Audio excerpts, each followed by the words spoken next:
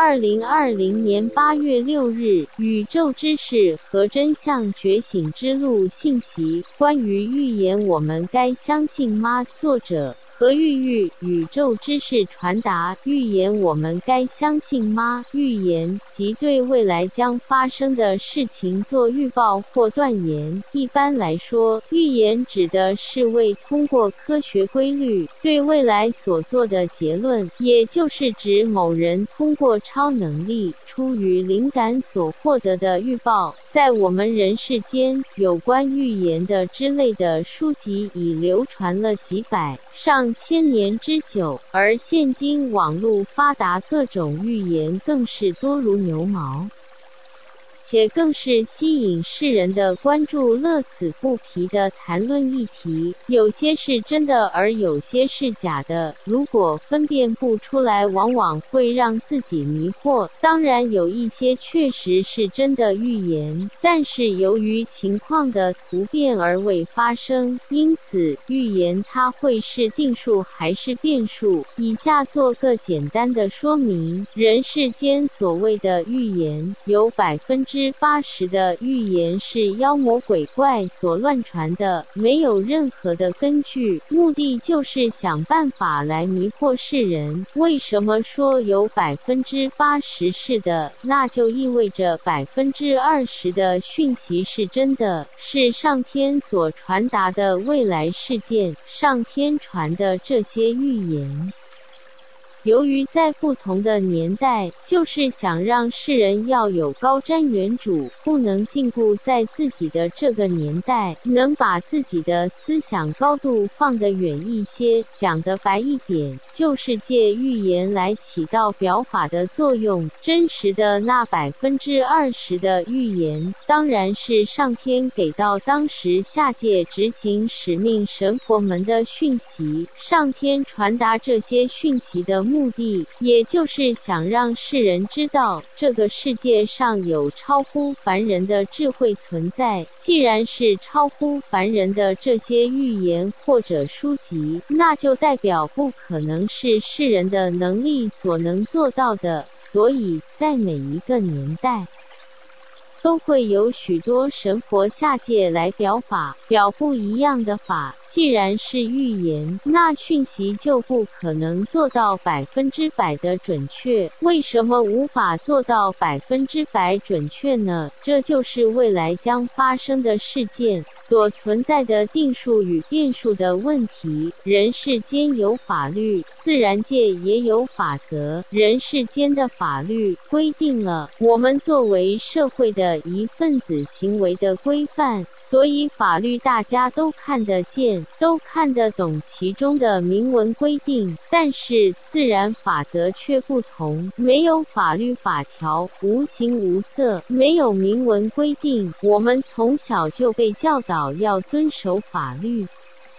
但从未被教导要遵守自然法则的相关知识，只是看见一些有先见之明的人士出来呼吁要爱护大自然而已。所以世人懂得世间法，并且会去遵守它，因为它是一个合格的公民应该去遵守的规范。但是却往往忽略了自然法则，因为它既无明文规定，且不具强迫性。而最重要的问题是，它从来不被重视，原因是它关系到一些商人或财团的利益。是有意或无意的被忽略，因此世人遵守世间法的同时，却在不停地破坏大自然，破坏森林、水资源。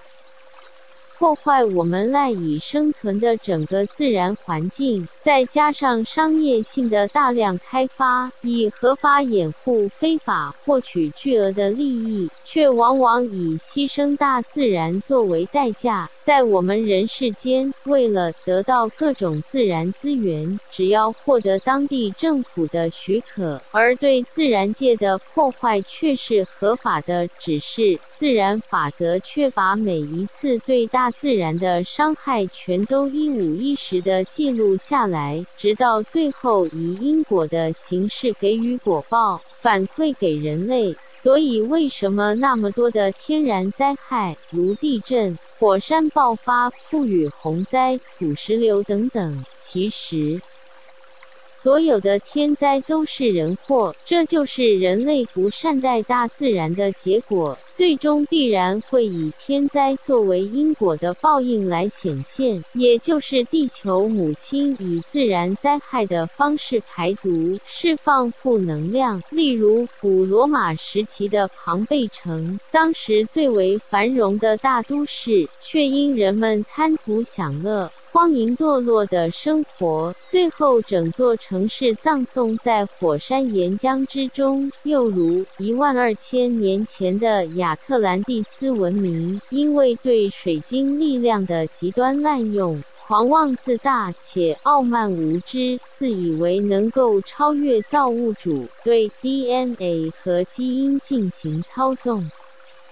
创造出本来不该存在的生命物种，最终使得整个大陆沉入大西洋海底，结束文明。这就是当一个群体或文明人心无知堕落到谷底时，出现一次不可避免的空前灾难，将成为必然的定数。但变数是如何产生的呢？例如，大预言家诺查丹马斯之前的预言都如此准确。为什么后来的预言全部都不灵验呢？他所预言的1999年世界末日为什么没发生呢？真实的原因是在1987年曾经发生的一次灵性和谐汇集。也就是当时遍及全球范围的人类集体灵性大运动，这种史诗般的行动改变了整个人类的命运。也就是因为1987年地球人类灵性意识的一次伟大觉醒，整个世界的命运定数就被改变了。所以造成他自一九八七年以后所有的预言都不灵验。至于二零一二年十二月二十一日早上十一点十一分的宇宙大扬升，一般解读为末日，则是因为小宇宙的老祖宗请求大宇宙的老祖宗将时间延后，希望能传达宇宙知识与真相给子孙后代们。让子孙后代有一次觉醒自救的机会，因此定数就被改变了。同样的，要改变自己的命运，也是需要靠灵性修行的觉醒。至于现今世上到处是这些五花八门的预言书籍，既然只有百分之二十是上天传的讯息，而上天所传的讯息也是一个推算，不可能达到百分百的准确。所以，对于预言的部分，无论它出处是哪里，通通都不。不要相信，这样自然就不会迷惑。因大部分的书籍都被妖魔篡改，用来迷惑世人，让世人相信这些预言是真实的。不管在哪个年代。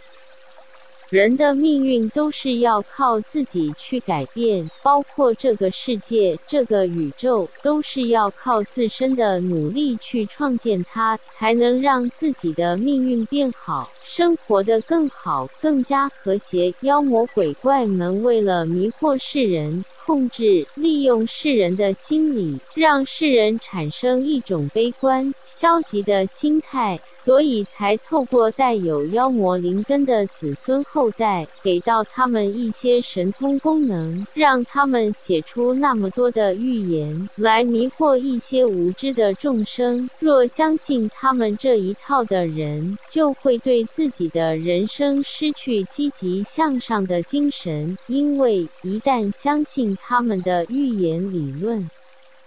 就不想通过自身的努力去改造自己，去改变自己的人生，改变自己的命运。如果每一个人都有远大的思想，有责任心，有使命感，相信命运是掌握在自己手里，都可以通过自身的努力去改变一切。谢谢阅读，感恩您。